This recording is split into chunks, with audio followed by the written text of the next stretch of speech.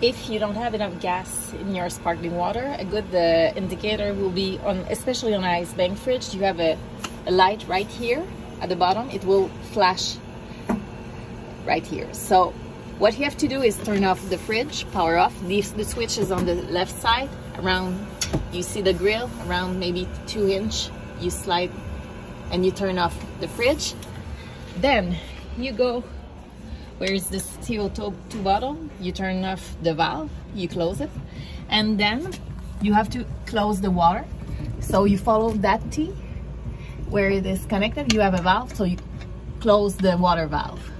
Then you go to the iPad and you connect, you, you order sparkling water, water until nothing comes out the spout, either gas or water until nothing comes out. Then you press stop and what you have to do is at the same moment you turn off the gas and the water valve. Then quickly you turn on the the cooler or the ice bank fridge you power on and you will hear the compressor starting. You wait until it finish and then you can order a sparkling water. You will have bu bubble in your glass. Voila